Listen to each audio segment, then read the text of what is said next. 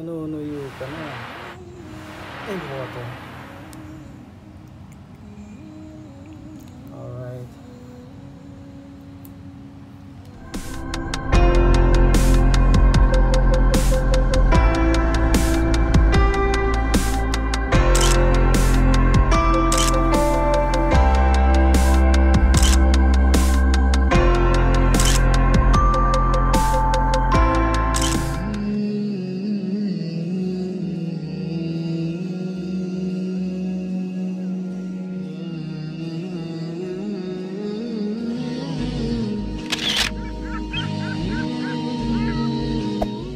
there.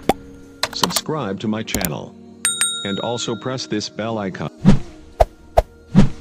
Hello mga ka-viewers, Assalamualaikum. Kapayapa na sumainyo. Alhamdulillah ah, at ah, mabiyay ang araw sa inyo kahit mayroon tayong ah, pandemic na to. Inshallah maging maayos na lahat, maging sa Pilipinas. Dito sa Qatar medyo nagpa-fluctuate siya sa mababa na at kaunting taas. At nung isang araw ay ah, si, ah, walang ah, namatay. So dati mayroong 200, 100 15, 17 ah, apat, lima, ganyan tatlo hanggang sa wala na. So inshallah pero ngayon di ko alam kung anong update. Dated 16 so inshallah maging ayos tayo ngayon. So stay safe lang sa mga ka-viewers. Ah, ito sa sasakyan mainit talaga kaya hindi ko binubuksan ng kaunti para at least sa init na dito talagang mamamatay siya so ingat na lang guys. Medyo mahirap na ah, may aral ito sa atin. Mayroon din benefits. Ah, kayo na ang makakapag-husga kung anong beneficial sa inyo. At ito ay isa sa mga ah, isa sa mga tawag dito mga paalala sa atin guys. Okay mga ka-viewers counting kalaman lamang. Counting paalala una sa akin.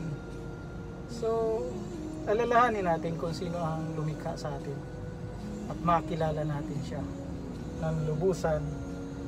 Siguro ito yung panahon na kung saan ah, tayo'y humingi ng ah, kapatawaran sa kanya lamang. Huwag sa mga linikha ha? Okay sabi nga ika nga worship the creator not the creation okay guys let's go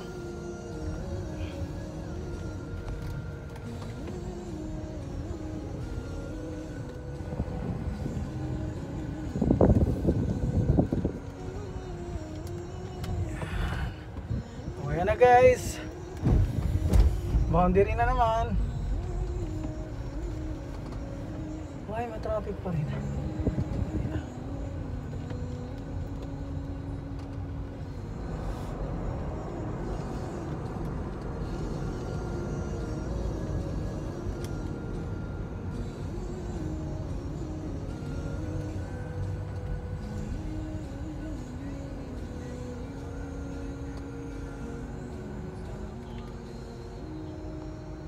Yan guys. Medyo challenging tayo ngayong pandemic. So ingat na lang at ah, stay safe sa mga lugar. At ingat kung saan kayo napunta. Ah, iwasang mawak at pag uwi, laging magugas ng kamay. But syempre sa kalooban natin dapat linisin din natin. Una na sa akin sarili. Super init na guys. Super init na guys dito.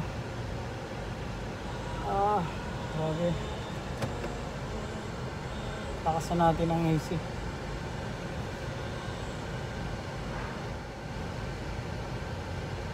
Siguro mga limang taon pa siguro ito bago makarecover. Kaya ang hirap.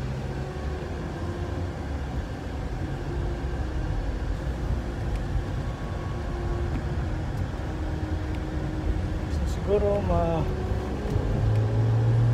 ihanda natin ang sarili na na maging God-fearing tayo. So, inshallah, makilala natin ang ating tagapaglikha. Tunay na tagapaglikha. So, siya lamang ang makakapag uh, bigay ng lunas sa ganitong sigalot na pandemic. Okay guys?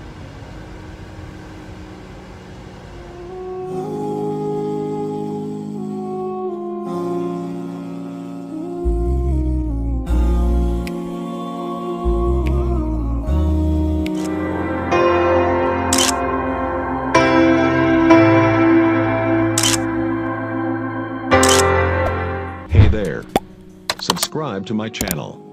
And also press this bell icon.